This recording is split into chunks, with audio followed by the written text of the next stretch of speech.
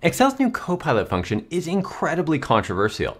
Some think it will ruin spreadsheets, while others believe it'll make most functions obsolete. So in this video, I'll share my thoughts on this, the lessons that I've learned, and a clear set of rules for when you should use the Copilot function. Plus, I'll show you the right way to use it to get hundreds of free credits. So let's go. So we'll first take a look at when to use the Copilot function, and then I'll explain when not to use it. So the Copilot function is great for analyzing text. In this example here, I want to extract all of the items from these wish lists. I'm going to say equals Copilot, we'll tap into that. I'll just paste in my prompt, which is to extract only the items from the data and create comma separated lists for each row. And then I've referenced the entire range. I'll hit enter, let Copilot do its magic, and it returns these results to a spill range.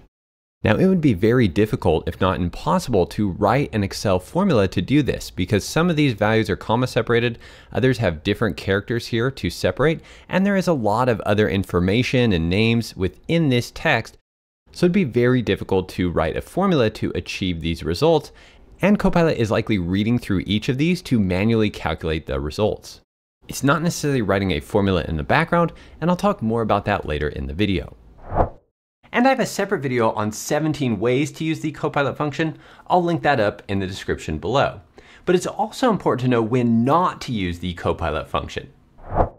Now my first rule is to only use the Copilot function when other functions, formulas, or features of Excel can't solve your problem. In this example here, I want to split all of these tags and they're all comma separated. So this is relatively easy to do. We can use the text split function here. Just tab into that. This is my text. The column delimiter will just be a comma since they're all comma separated values. Hit enter. That'll produce the correct results here and I'll just go ahead and copy this down. And you might be wondering why not use Copilot here, and there are several reasons. First, there is a limit on how many times you can use the Copilot function, which I'll talk about later in the video. And again, Copilot is going to be taking its best guess on each of these values. In this scenario, it'll probably be pretty accurate, but these large language models can make mistakes and hallucinations, so you'll always need to double check the work of Copilot versus when you're using a built-in function like TextSplit, you can have a lot more confidence that the results are going to be correct.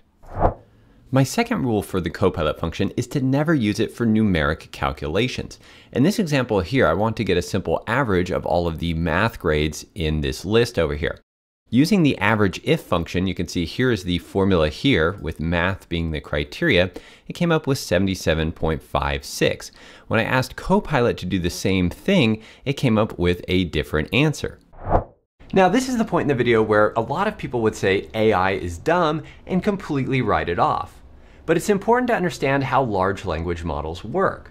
They're really good at predicting text, doing creative writing and coding, but they're not as good at analyzing and calculating numbers, as you can see here. But that doesn't mean AI is dumb, at least not in this scenario. It's just about using AI in the right scenario.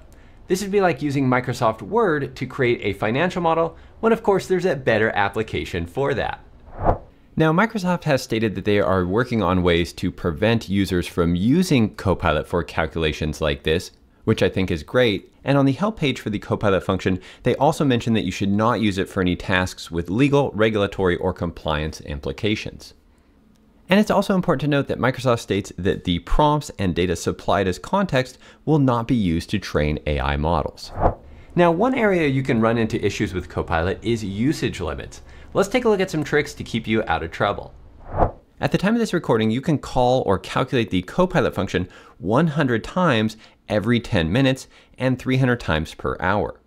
So back to this text parsing example, if I was to just reference cell B4 here, and I'll go ahead and hit enter, that's going to return the results here. Now, if I was to copy this formula down, that's going to run the copilot function 17 times. And so that means I just use 17 of my 100 calls in the next 10 minutes. And you can see it makes some mistakes here, and part of that is due to the fact that it doesn't have any context for the data above it or below it, it's just looking at one single cell.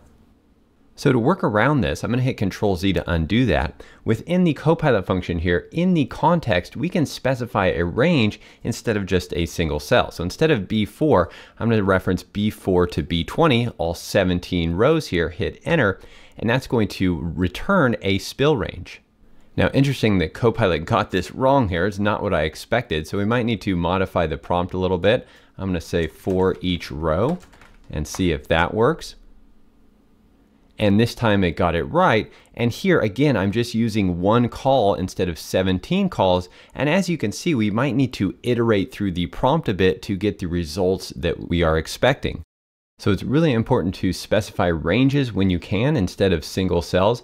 And one additional pro tip is to be very descriptive with your prompt so you get the results that you're expecting. I've also run into some limits on the amount of data you can pass to the Copilot function.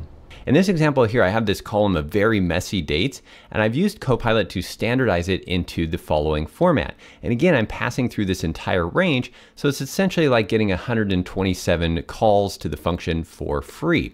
If we jump down to the bottom here, we can see that everything looks good and the spill range spills to the exact row that I've specified in the formula.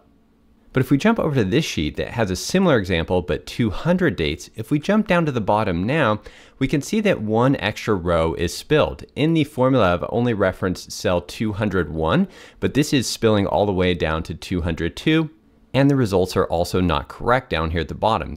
There is an issue right here where this date is returned twice, and it throws everything off by one row. And again, the results will be different every single time you run the function, so you'll definitely want to check the results here to make sure they're correct. One area that I think can be improved with the Copilot function is recalculation. Let's take a look at how it works. So let's say Johnny changes his mind here and he wants a football instead. When I hit enter now, that's going to recalculate the copilot function. As you can see, everything recalculated there, meaning we're going to get an entire new set of results, and these could be different from the previous results, even though we only made a change to one cell. So if you're going to go make a bunch of changes to the source data here, each time you do that, it will count against your 100 calculations per 10 minutes. And there's a few things you could do to get around this. You could potentially put an apostrophe here in front of the copilot function so that it doesn't recalculate. If I just remove that, you could also copy and paste the values. So we could take the results here, copy and just paste values over that or paste them somewhere else to keep the values. And you could even turn Excel into manual calculation mode, although I do not recommend doing that for other reasons. And ultimately, I think Microsoft will need to come up with a better way to handle recalculation with the Copilot function. I like the way Google handles recalculation with its AI function in Google Sheets, which is similar to the Copilot function. So if we go make a change to the cell here, you can see that the cell is now has this kind of purple grayed out look to it. And when we click on it, we can click generate and insert to perform recalculation. And again, that button's always visible. So if we want to refresh again, we can just click here to recalculate. And there are other differences between the AI function and the Copilot function. So leave a comment below if you're interested in that and I'll do a separate video on that topic. In summary, the Copilot function does not replace all functions in Excel. I would reserve it for complex scenarios that can't be solved with regular functions. Knowing when to use AI versus traditional tools is a critical skill in the modern era. To help prepare you, we are creating a brand new training program called AI Literacy for Excel. I'll put a link in the description where you can join the waitlist to get notified when it's available. If you enjoyed the video, hit the like and subscribe buttons. And if you want to see other ways to automate Excel tasks, then check out this video next. Thanks again for watching, have a great day, and I'll see you in the next video.